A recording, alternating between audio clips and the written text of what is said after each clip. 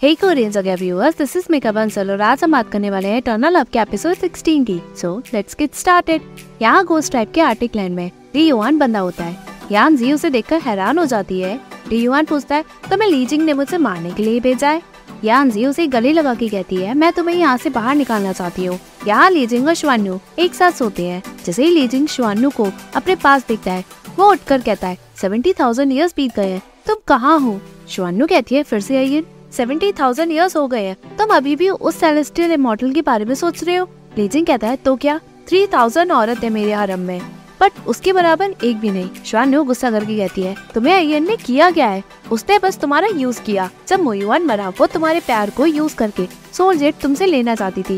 Leasing बिना कहीं चला जाता है, जैसे वो बाहर आता है। उसे आर्टिक लैंड का एक सोल्जर इन्फॉर्म करता है। कि प्रिंसेस यानजी लियोन को भगा के ले गई उनके पास मिलिट्री सील थी, इसलिए मैं उन्हें रोक नहीं पाया। बस मैं आपको रिपोर्ट देने आया हूँ। ली जिंग शौक होकर कहता है मिलिट्री सील वो तो मेरे तभी वो वापस शर्नु के पास जाकर कहता है, तुमने मेरी मिलिट्री सील शर्नु कहती है, उसने मांगी थी। लीजिंग कहता है, इतनी इम्पोर्टेंट चीज़ तुमने उसे दे दी?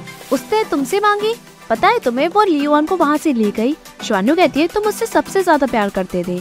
तो वो तुम्हें हर्ट कभी नहीं करना चाहेगी। टीचिंग कहता है लियोन की मदर, मरमेड क्लान से है। वो चांगसी ज़रूर गया होगा। अगर मरमेड ने वॉर छेड़ दी और गोस्ट ट्राइब इन सब में फंसा, मैं तुम्हें नहीं छोड़ूँगा। वो उसे चांटा मार के गिरा कर सोल्जर को बुलाकर कहता है। प्रिंसेस ने लियोन को छुड़ा लिया और वो चांगसी की तरफ़ जा रहे होंगे। जाकर उस क्रिमिनल को अरेस्ट करो। सोल्जर एग्री करता है। लीजिंग कहता है कि मैटर बाहर नहीं जाना चाहिए। नाइन हेवंस में किसी को भी ये बात पता नहीं चलनी चाहिए। सब कुछ सीक्रेट में करो। यहाँ ये हुआ? सूसू के पास जाने का सोचता है। तभी रियांगसोम भाग कर आकर बताता है सूजिन जनरल्स को, टी सर्व कर रही है। वो अभी नहीं आएगी। तुम जाओ। ये हुआ गार्ड्स को अंदर बुलाकर कहता है, मेरी बिना परमिशन के, कोई भी आना नहीं चाहिए। गार्ड्स एग्री करते हैं, रात में सूजिन ये हुआ के क्वार्टर के बाहर आती है। गार्ड्स उसे बाहर रोकते हैं। सूजिन अंदर जाने को कहती है गार्ड्स कहते हैं। उन्होंने किसी को भी अंदर आने के लिए मना किया है। सूजिन बाहर से आवाज़ लगाती है, मुझे आपसे मिलना है हाइनेस अंदर लियांगसोंग टेंशन में होता है। बाहर से सूजन फिर आवाज़ लगाती है। अंदर ल्यांगसोंग सोचता है सूजन तो टी सर्व करने गई थी। वो एकदम से यहाँ कैसे आ गई? क्या करूँ? अगर मैंने कुछ भी रिस्पॉन्ड नहीं किया तो उसे शक हो जाएगा। वो सब कुछ हेवनली लॉर्ड को बता देगी। फिर हम तो गए। उसे सामने कैंडल दिखती है। सूजन अंदर जाने की कोशिश करती है बट गार्ड उसे रोकते हैं। सूजन कहती है हाइनेस इतनी जल्दी नहीं सोती। क्या उनकी तबीयत तो खराब नहीं? और क्या हमें किसी को बुलाकर उनका चेकअप तो नहीं कराना होगा? गार्ड उसे जाने को कहती है बट सूजन कहती है, तुम लोगों को अजीब नहीं लगता? अगर हाइनेस मुझसे मिलना नहीं चाहते तो वो कोई रिस्पॉन्स तो करते? तभी एकदम से अंदर रूम में अंधेरा हो जाता है। गार्ड कहते हैं हाइनेस देखा आपने? उन्होंने कैंडल भी बुझा दी। मतलब वो अभी फ्रेश कर रहे होंगे। शिन्नू भी एग्री करके कहती है, आप तो हाइनेस को जानती है ना? अगर उन्हें किसी से बात नहीं करनी तो वो किसी से भी पूरे दिन कुछ भी नहीं कहते। उन्होंने अब कैंडल भी बुझा दी तो मतलब वो नहीं चाहते कि आप उन्हें डिस्टर्ब करें। सुजिन गार्ड को कहती है हाइनेस का ख्याल रखना और लापरवाही बिल्कुल मत करना। गार्ड एग्री करते हैं सुजिन दुख में चली जाती है। अंदर लियांगसोंग कहता है, ये लॉन्ग टर्म सोल्यूशन तो है नहीं। As a crown prince of celestial tribe अगर ये हुआ अपने आप को हर रोज कमरे में ऐसे बंद करेगा तो कभी न कभी वो पकड़ा ही जाएगा। फाइनली ये हुआ मोटर रिम में सुसु के पास पहुँचता है। वो पूरे घर में उसे ढूंढता है बट वो उसे कहीं नहीं मिलती। वो कहता है, कहाँ गई होगी वो? जंगल में बादशाह बो एंड एरो के साथ ये हुआ का इंतज़ार करते करते सो जाती है। ये हुआ सब देखकर उसके करीब बढ़ता है, उसकी आवाज़ से बादशाह उठती है। वो ये हुआ को देखकर रोती हुई, उसके पास भागकर, उसके गले लगकर खूब रोकर कहती है, ये हुआ ये हुआ कहता है, मैं वापस आ गया। पायशान रोते हुए कहती है, तुम्हें पता है, तुम पूरे आधे साल बिना कुछ बताए चले गए। क्या किसी की लाइफ और डेथ वाला मैटर था? ये हुआ मना करता है। पायशान कहती है, तुम पिछले आधे साल से गायब हो और जवाब में बस मनाई कर रहे हो। ये हुआ कहता है, कुछ इम्पोर्टेंट करने गया था। पायशान पूछती है, ऐसा क्या इम्पोर्टेंट था कि तुम मुझे बिना बताए चले गए? ये हुआ बुरा मानता है। पैशन कहते है, तुम में सब अच्छा है बट तुम मुझे कुछ भी नहीं बताते। सो मुझे कभी भी तुम्हारे बारे में कुछ भी पता नहीं होता। ये हुआ कहता है, भले मैं तुम्हें कितना भी बताऊँ, बस तुम उस पर ट्रस्ट करो। परेशान होते हुए कहती है, मैं हार गई। अगर तुम मुझे कुछ भी बताना नहीं चाहते तो मत बताओ बट सारी परेशानियाँ तुम अकेले मत झेलो। नहीं तो मुझे लगेगा कि मैं तुम्हारी वाइफ नहीं हूँ। ये हुआ, उसके आँसू पोसता है। पैशन कहती है, देखो तो तुम अभी भी कुछ नहीं कह रहे हो। तुम कम बोलते हो, इसलिए मैं अब गुस्सा भी नहीं हो सकती। तुम क्या मुझे मनाओगी भी नहीं? ये हुआ कहता है, गलती मेरी है। परेशान हंस की कहती है, तुम पूरे आधे साल से गायब थे, और अब तुम कह रहे हो गलती है तुम्हारी। पूरी दुनिया में सिर्फ़ तुम ही एक ऐसे इंसान हो। ये हुआ, हंसता है। पाशानों से पकड़ के पूछती है तुम्हारे लगी है क्या? ये हुआ मना करके कहता है। इस दुनिया में सिर्फ़ कुछ ही लोग हैं जो मुझे हर्ट कर सकते हैं। पाशन कहती है, झूठे गई के? ये हुआ पूछता है, क्यों? पैशन कहती है, जब मैं तुमसे पहली बार मिली, तुम्हारे बहुत खून निकल रहा था। ये वो कहता है, वो एक्सेप्शन था। वो उसे गले लगा लेता है, बाद में दोनों सोते हैं। ये वो कहता है, सुसु, अब मुझे चलना होगा। जैसे ही वो जाता है पैशन पूछते तुम फिर जा रहे हो? इस बार कितने दिन के लिए जा रहे हो? ये वो कहता है, एक या दो साल के लिए। पैशन कहती है, तुम्हें पता है, एक या दो साल कितने होते हैं? ये हुआ, उसे सॉरी कहता है। पैशन कहती है, जब मैंने तुमसे पहले शादी की थी, मैं चाहती थी कि तुम हमेशा मेरे साथ रहो। आधे साल तुमसे अलग होने के बाद, जब मैं तुमसे दोबारा मिली, मैं बहुत खुश हुई, और अब कुछ साल मैं तुम्हें देख भी नहीं पाऊँगी। कोई बात नहीं, वैसे भी दो साल की बात है, मैं वेट कर लूँगी, तुम चले जाओ। ये हुआ कहता है, मुझे तुम्हें कुछ देना है।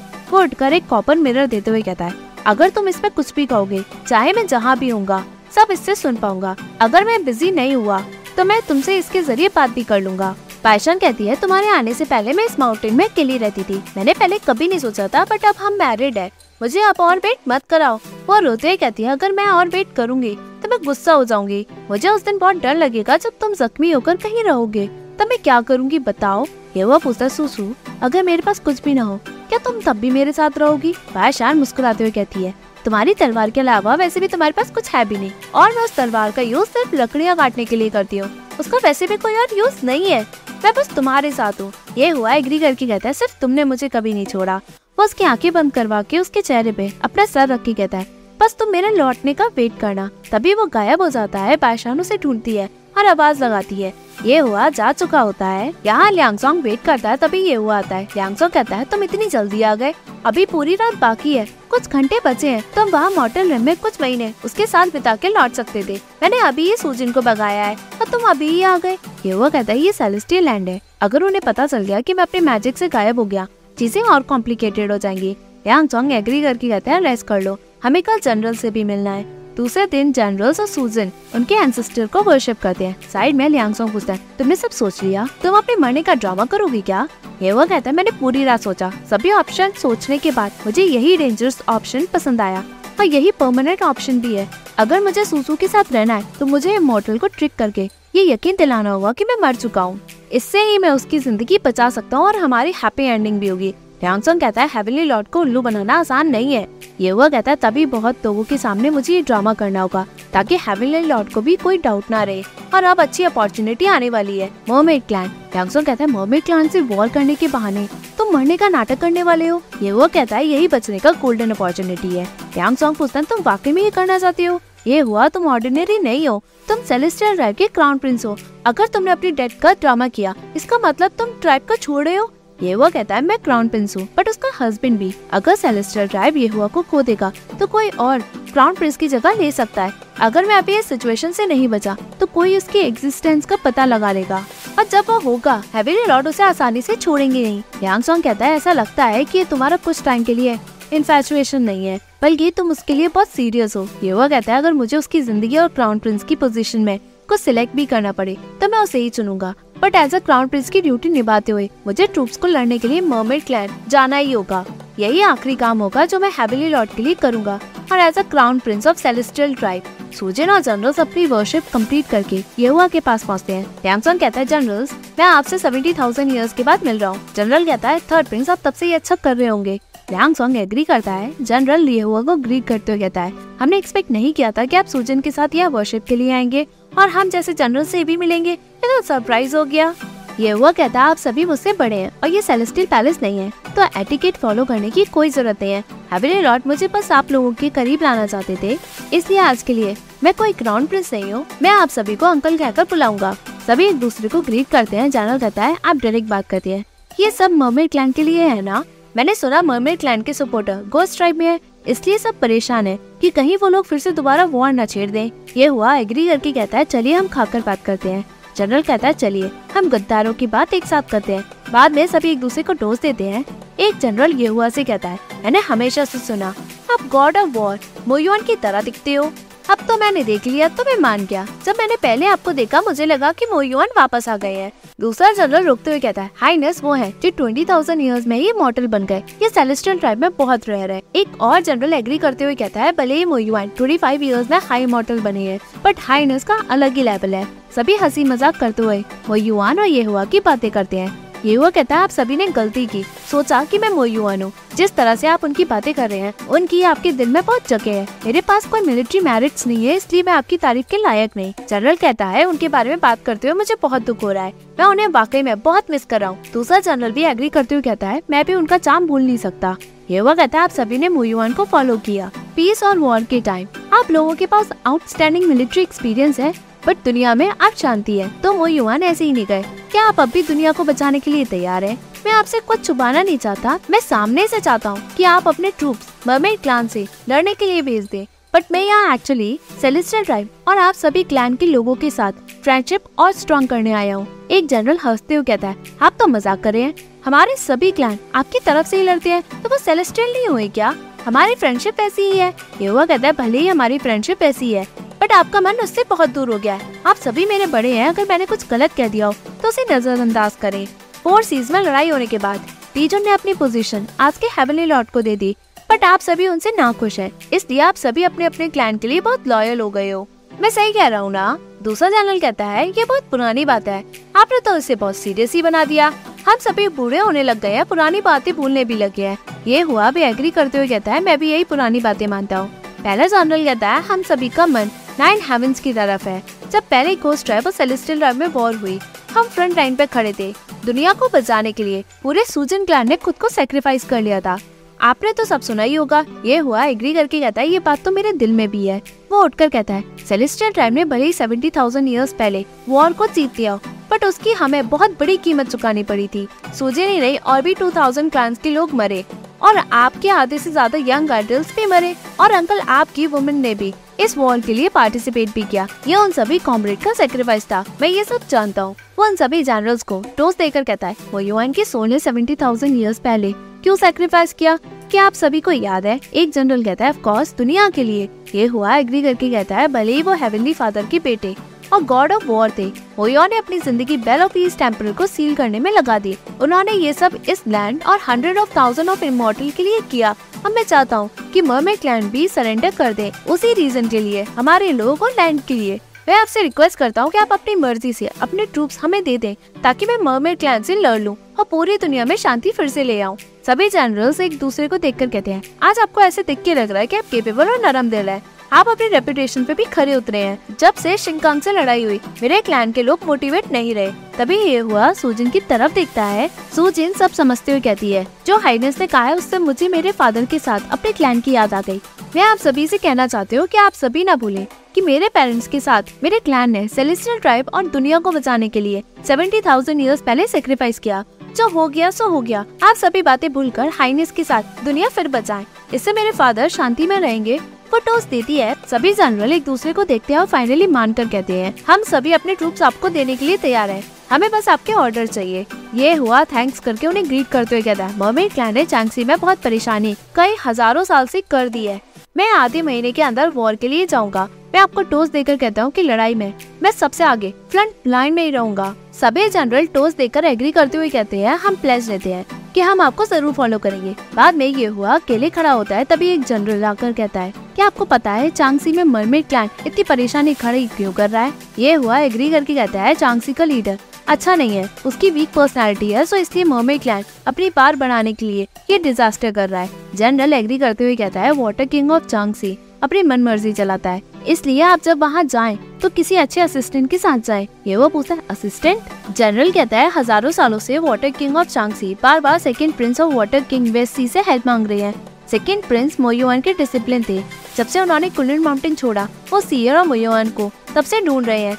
जब भी चांगसी में इमरजेंसी आती है, वो ही ट्रूप्स को लीड करके सबकी हेल्प करते हैं। वो कई बार मरमेड क्लैन से भी लड़े हैं। ये वो पूछता है मोयुआन की डिसिप्लिन जनरल कहता है मोयुआन की डिसिप्लिन दी फैंग ये वो कहता है दी मैंने यहाँ आने से पहले उनके बारे में सुना था। जनरल कहता है, मैंने सुना वाटर किंग ऑफ़ चांगसी अपनी बेटी की शादी मोमेड क्लैन से कराना चाहते हैं, ताकि शांति बनी रहे। अब अगर आप वॉर करेंगे तो वाटर किंग परेशानी में ना आ जाए। मुझे लगता है कि अगर आप वहाँ ट्रूप्स लेकर भी जाए तो वहाँ वाटर किंग मोमेड क्लैन की तरफ़ से ना बोले। इससे आप ही बुरे बनोगे। ये वो कहता है, वॉर होने से पहले मुझे वाटर किंग से मिलना होगा। जनरल ग्रीट करके चला जाता है। बाद में ये हुआ। सुसु से कॉपर वायर में बात करता है। पैशन कहती है, तुम हो? मुझे लगा ये टूट गया। ये वो कहता है उस वक्त मेरे पास टाइम नहीं था। बट अब है। पैशन पूछती है, तुम क्या खाना चाहोगे जब तुम लौटोगे? मैं बना दूँगी। ये हुआ कहता है सूसू पायशान कहती है, क्या हुआ? ये वो कहता है सच बताओ पायशान खेलने लगती है। ये वो पूछता है नाराज़ हो? पायशान कहती है, मैं अपनी बर्ड के साथ खेल रही थी। मुझे तुमसे नहीं लड़ना। ये वो कहता है मैं चाहता हूँ कि तुम मुझसे और लड़ो, ताकि तुम मुझसे और बात कर सको। पायशान कहती है मैंने कुछ सोचा है, जो मैं तुमसे डिस्कस करना चाहती हूँ। ये वो पूछता है क्या? पायशान कहती है, मैं सोच रही थी कि अगर मेरे पास बेबी होगा जो मेरे साथ रहेगा तो मुझे कभी भी तुमसे अलग होने का डर नहीं होगा। बट मुझे लगा कि कहीं तुम्हें बच्चे ना पसंद हो तो इसलिए मैं तुमसे डिस्कस करना चाहती थी। बट अगर तुम्हें नहीं चाहिए तो कोई बात नहीं। बिना बच्चे की ज़िंदगी पीसफुल और क्वाइट बीतती है। ये वो पूछता तुम्हें लड़का चाहिए या लड़की? तो मुझे तब बता देना जब मैं वापस आ जाऊँगा। पायशान खुशी में एग्री करती है। नाइन हेवन में? हेबिली लॉर्ड ये हुआ से कहता है। मैं तुमसे यही पूछने आया हूँ कि तुम्हारी उस मीटिंग में क्या हुआ? उन जनरल की क्या सोच है मोहम्मद क्लैन को लेकर? ये हुआ, कहता है, मुझे चांगसी जाना होगा। वाटर किंग से मिलकर चेक करना होगा कि जो रूमर है वो सही है भी या नहीं। यानी मोहम्मद क्लैन वापस लौट जाएगा जब उन्हें उनकी लैंड मिलेगी। और दूसरा, हमें मरमेड क्लैन की हर हरकत पे नज़र रखनी होगी, ताकि हम उस अपॉर्चुनिटी को देख के उनके खिलाफ वॉर कर सके। हैविली लॉर्ड कहता है आज नहीं तो कल हमें ये सिचुएशन रिजोल्व करनी होगी। बट वॉर कहीं जल्दबाजी तो नहीं। ये वो कहता है, आज नहीं तो कल। वॉर तो होनी है। हम उन्हें रंगे हाथ पकड़ लेंगे ताकि हम जीत भी सके। हैविली लॉर्ड एग्री करके कहता है, मैं तुम्हें चांगसी में जाने देता हूँ। एज अ ट्राइब की क्राउन प्रिंस तुम अपनी ही ज़मीन पे जा रहे हो ताकि तुम वहाँ के लोगों को और उनकी कस्टम को देख सको। वहाँ तुम कुछ गलत मत कर देना। बट ये हुआ चांगसी सेवेंटी थाउज़ेंड ईयर ऐसी मर्मेड क्लैन की खतरे में है। ये छोटी मोटी प्रॉब्लम नहीं है। इसलिए तुम जल्दबाजी वहाँ मत करना। ये हुआ एग्री करके कहता है, इसलिए मैं वहाँ क्राउन प्रिंस ये हुआ बन के नहीं जाऊँगा। लॉर्ड कहता है अंडर कवर जाओगे क्या? ये हुआ एग्री करके कहता है, भले ही चांगसी हमारी जगह है, पर मरमेड क्लैन ने हमारे लिए प्रॉब्लम खड़ी कर दी है। इसलिए मैं वहाँ जाकर अपॉर्चुनिटी देखना चाहता हूँ कि चांगसी और वाटर किंग के सारे रिश्ते मरमेड क्लैन से खत्म हो जाएँगे या नहीं। अगर वाटर किंग हमसे ट्रूप्स मांगेंगे तो हम सही से वहाँ अपने ट्रूप्स भेज देंगे। हेविली लॉर्ड कहता है, बढ़िया। तुमने बहुत अच्छा सोचा है। मैं इस मैटर में नहीं पढ़ा हूँ, क्योंकि मुझे डर था कि कहीं वाटर किंग को अंदेशा हो गया कि सेलेस्टियल ट्राइब मर्मेड क्लान का बहाना लगा के उनसे सारी अथॉरिटी ले लेगा। ये हुआ एग्री करता है हेवली लॉर्ड कहता है, जो तुमने कहा है, तुम वो कर सकते हो। ये हुआ एग्री करता है, यहाँ ताइचन पैलेस में फेंगजू फ्रूट खाती है। तभी सामने से दीजुन आकर कहता है, क्या तुमने सीमिंग को देखा है? फेंगजू नशे में मना करती है। दीजुन पूछते, तुम क्या खा रही हो? फेंगजू कहती फ्रूट्स दीजुन पूछता है, किसने दिया? फेंगजू छुपा के हंसती है। दीजुन फिर पूछता है, बताओ तो किसने दिया? फेंगजू कहती है, शायद चेंगयू ने। वो खाती है। दीजुन कहता है, उसने तुम्हें खाने को दिया और तुमने खा लिया? फेंग जूस की करीब आकर कह दिया इसमें बहुत सारे फ्रूट्स हैं, मैं सब खत्म नहीं कर सकती। आप एक लेना चाहोगी क्या? तीजुन कहता है, तुम्हें देख के लग रहा है कि तुम्हें पता ही नहीं कि मैं क्या कह रहा हूँ। फेंग जू फ्रूट खाते हुए कहती है, मैं सच कहूँ वो दीजुन को हक करते हुए कहती है, मुझे आप बहुत पसंद हो, वो हंसती है। तीजुन कहता है तुम मुझे नहीं बताओगी तो भी मैं जानता हूँ। फेंगजू कहती मैंने सुना, ताजिन पैलेस की बहुत अच्छी नजारे हैं, बट मैं यहाँ कई टाइम से रह रही हूँ, मुझे क्यों नहीं दिखे? तीजुन कहता है, जब तुम फ्री होगी, तुम सीमिंग से पूछ लेना, वो तुम्हें घुमा देगा। तुम्हें अपना टाइम मेरे साथ। इन सब कामों के लिए वेस्ट नहीं करने चाहिए, जो एक बूढ़ा इंसान है। फेंगजू कहती है, आप बूढ़े नहीं हो। तीजन कहते हैं, जब मैं हैवली लौटता तुम्हारे ग्रैंडफादर की शादी तब नहीं हुई थी। फेंगजू हंस के कहती है तो तुम्हें बुरा लग रहा है कि मैं तुमसे छोटी हूँ। तीजुन कहता है ठीक है, तुम यही बैठो और कुछ खराब मत करना। मैं टू सेलेस्टियल स्वान को लाता हूँ, ताकि वो तुम्हें घर पहुँचा देंगे। जैसे ही तीजुन जाता है फेंग जू से पकड़ के कहती है, नहीं, अगर मैं वापस जाऊँगी तो क्राउन प्रिंस की कजिन मुझ पर चिल्लाएगी। तीजुन पूछता है, क्या वो तुम पे बार बार चिल्लाती है? फेंग जो एग्री करके फ्रूट खाने लगती है। ये सभी नज़ारे सिमिंग और चेंगयू दूर से देखते हैं। चेंगयू कहती है, चलो, अब हमारा यहाँ क्या काम? सिमिंग पूछता है, क्यों? चंगू कहती तुम इतनी स्टोरीज हर रोज लिखती हो। फिर भी नहीं समझे। छोटी प्रिंसेस अभी होश में नहीं है। वो जो भी कहेंगी, सामने वाले को उनसे प्यार ही हो जाएगा। मुझे बुढ़े दीजुन और उसके बीच में कुछ तो लगता है। सिमिंग पूछता है, क्या तुमने थर्ड प्रिंस लियांगसोंग को ऐसे डील किया? चेंगू कहती है, उसके बारे में बात मत करो। यहाँ बाद में दीजुन फेंगजू को उठाकर लेकर जाता है। तभी एपिसोड एंड होता है। Hey viewers if you like this video please like share and subscribe this Korean Jagah YouTube channel and don't forget to follow me on Facebook page Korean Jagah as well as Instagram account Korean dot Jagah thank you